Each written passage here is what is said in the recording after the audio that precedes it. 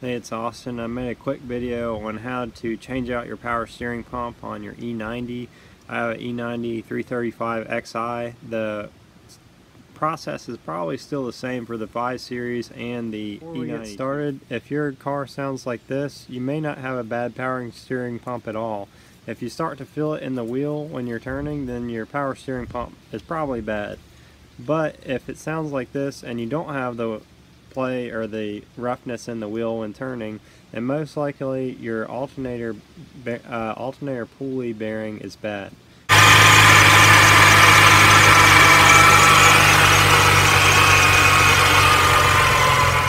E60 socket to remove the drive belt. So you're going to act like you're tightening this socket or this area right here. There is a special tool for that that has a bar on it from ECS uh, ECS tuning, but I didn't feel like I needed it, and I did it without it. Without it, but to do that, I did have to remove these two bolts that hold on this intercooler or uh, charge pipe. Wait, that would be a intake pipe. So I did have to remove that and pull it back to be able to remove that drive belt. But you don't really need the tool. You just need the uh, E60 socket. So to remove the power steering pump, first thing I did was remove the radiator so you have plenty of access, or not the radiator, the radiator fan. So you have plenty of access.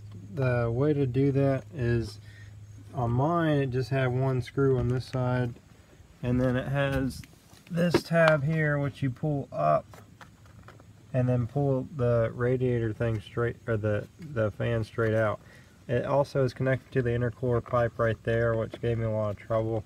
You have three bolts that hold on the pump. Two that are easily to access, and you can see them, which are these two on the front of the motor. Those are not even a problem at all. You may even be able to get them with the radiator fan on if you are willing to do that, but taking the, the fan off wasn't that hard. Then there's one bolt on the back side that you can't really see, and then you got this hose that goes on there. So focus on getting the two bolts off the front first and then getting access to the last bolt. So to get access to the last bolt, I did remove the alternator, but I don't really think it was that necessary. You have to reach down here and the bolt bolts in sideways to the block. And they're all E12s that hold on the power steering pump. You're not going to really be able to see what you're doing down there, you're just going to have to feel for it.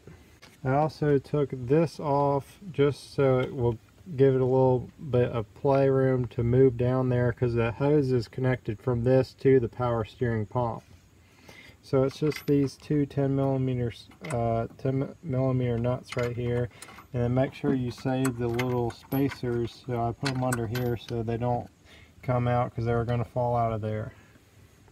It's also a good idea to go ahead and flush the canister and uh, turn the wheel side to side to get the rack, all the fluid out of the rack as much as possible. You will need a pulley puller to pull off the pulley from the power steering pump and you also need a T40 Torx uh, internal socket and you need a T30 and then for the external Torx socket you need an E12. You don't have to remove this line but it's a good idea to take it off and flush it out. Here's the bolts. Make sure you clean those really well. It looks like there's a filter inside of this. Or a ball restrictor or something. This probably prevents this probably prevents uh, contamination from getting inside of the probably prevents contamination from getting inside the steering rack.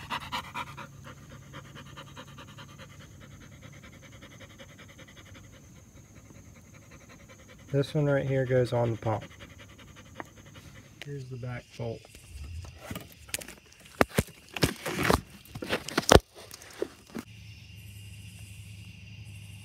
The wrench is on it right now. It's right in front of the power steering or the lines that go directly to the the rack. Put this back together with this cooler thing right here make sure that this line right here tucks underneath this. So the bolt will be right here. It was a little confusing. I had to redo it a couple times. These are the two mounting bolts. So start those first and then put the back bolt in, then tighten the back bolt, then tighten the two front bolts. And put this on without this pulley so that it makes it easy to put in. Otherwise you have a lot of interference with this these lines here. And then you can slap the pulley on and bolt it on.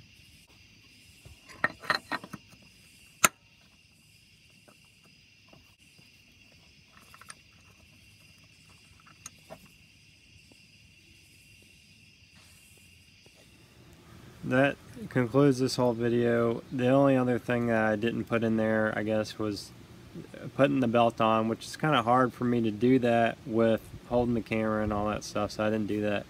But uh, yeah, it's pretty basic. If you can't put the belt on, then you probably shouldn't be doing this job in the first place.